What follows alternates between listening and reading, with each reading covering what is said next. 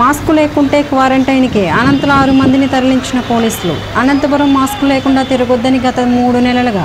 ఇటు వైద్య నిపుణులు అటు పోలీసులు చెప్పని రోజు లేదు. అయితే కొందరు సోమరులు వారి మాటలు లెక్క లేకుండా తీసుకోలేకుండా. ఇక ఓపిక నశించి నగర పోలీసులు చేసేదేమీ లేక ఏకంగా క్వారంటైన్కి తరలి తరలించే పని పెట్టుకున్నారు.